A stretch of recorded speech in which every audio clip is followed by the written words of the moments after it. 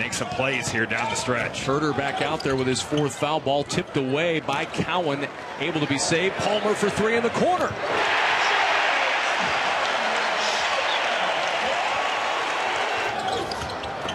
We're going to see James Palmer making the nice save, get to the corner, and again the Nebraska bench doing their choreographed dance step.